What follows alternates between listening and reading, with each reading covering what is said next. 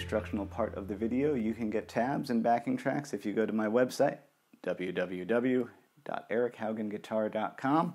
Today I'm playing with a brand new 2018 Fender Classic 50 Stratocaster, the lacquer finish model, running into my board using my Strymon Deco for some crunch, um, into my Mojotone Tweed Pro, mic'd up with a Shure SM57, and I add a little bit of Valhalla uh, vintage verb in post. That's what you're hearing.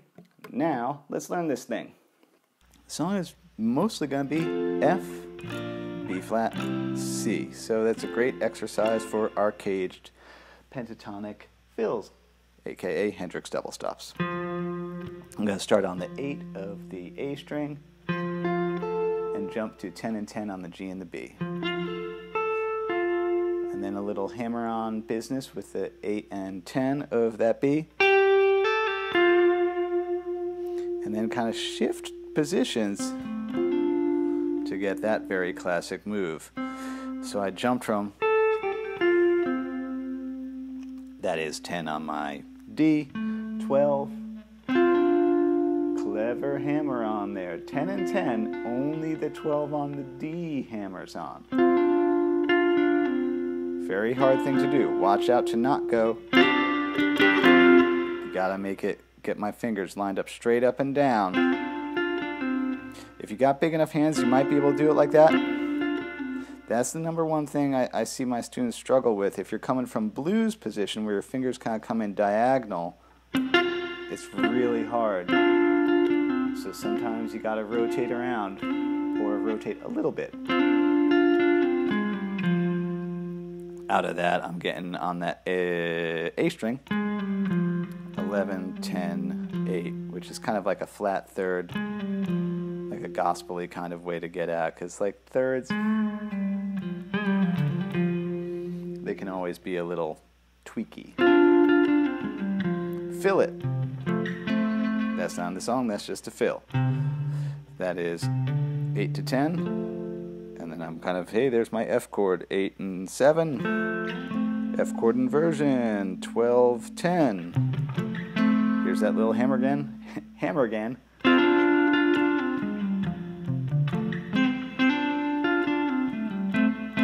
then, yeah, when you come back to it, you, you, you stay on 12 and 10 of the A and D, and then bend that 12 to get the vocal melody there. That just a little bend on 12.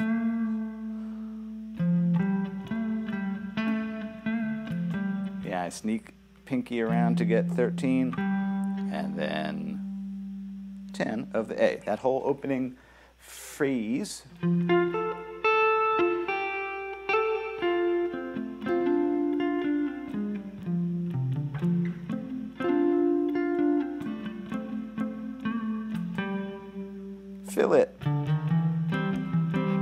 Yeah, when we get to this C chord, so I happen to be on the fifth of the C, I know that I can walk into the third of it.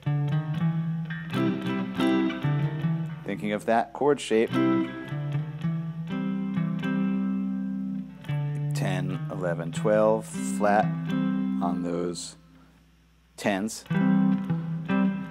Comes all around again.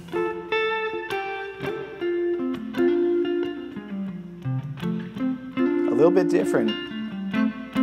Stays on that, doesn't do the low, it just right to that. That's kind of our. This song is interesting because it's kind of a chorus and a chorus. I feel like both parts are anthemic and great. I don't know, I guess I'll call that the chorus. Some more filling. Kind of a Motown fill. 8, 10, 8, 8. Walk up the scale. 10, change strings.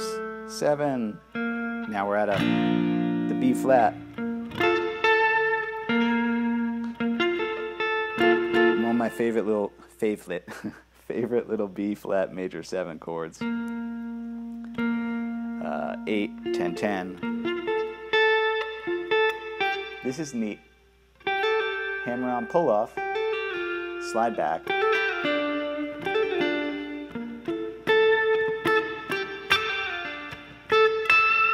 Cool.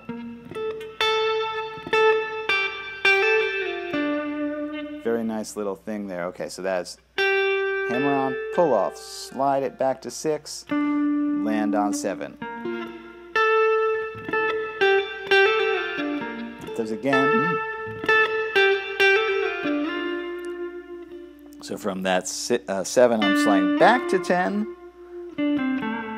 That's the melody. That's pentatonic. There's our F pentatonic. Nine, ten, seven, bendy, eight.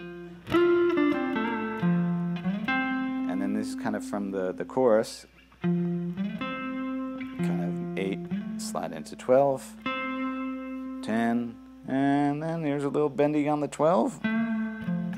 We've seen that before. We've seen that before. This time we're going to chromatically walk down from this C inversion to the B flat. Come back around. And then I'm going to go up. Because that's what her vocal melody does. And that's kind of out of F pentatonic there at the 13th, pentatonic major at the 13th fret. 10, 13, bendy on the 12e.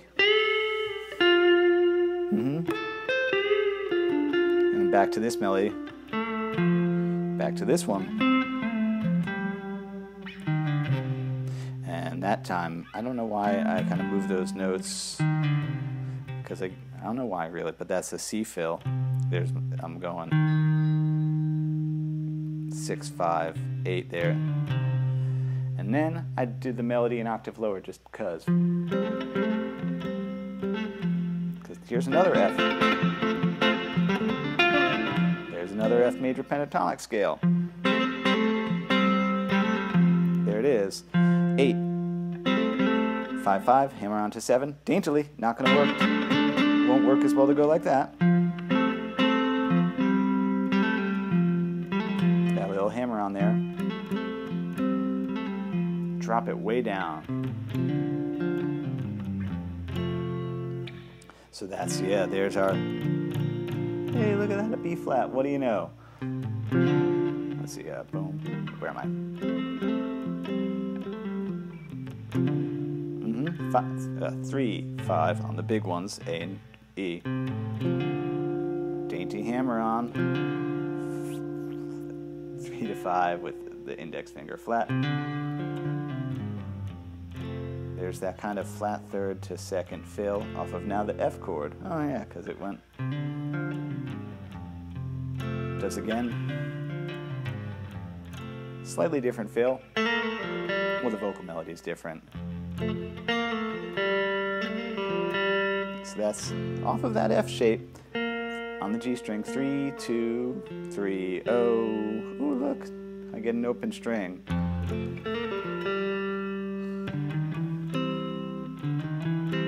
Because really once you hit that open G, you're really at a C chord, the five chord of the song. So then I'm like, oh, it's a C. That means I can go five, six, seven, flat with the index on the fives. Just using those cage shapes is all I'm doing. And I like this, yeah, little C sus2 that I do. If that's a C, there's the second degree of the scale hiding. Just makes a nice thing, yeah. And then harmonize the melody in sixes. Again, six notes apart, not a sixth chord. There's our F.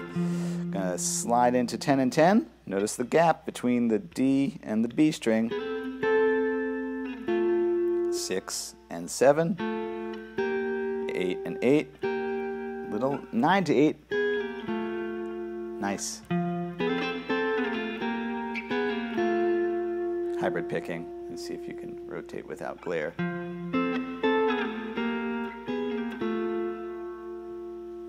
Then, tricky little finger buster because I'm trying to get that down here. That's what you get. So I'm thinking out of this F shape 7 5 on the D, G and the D. Hammer onto that 7 on the G. And then you kind of have to sneak index finger over to 6 of the D. Tricky bit, yeah. That's the fill from before. And then we're basically, yeah. And I think I do a little, little octave, five, seven, muted out inside of it, three and five, F, and then what's it do?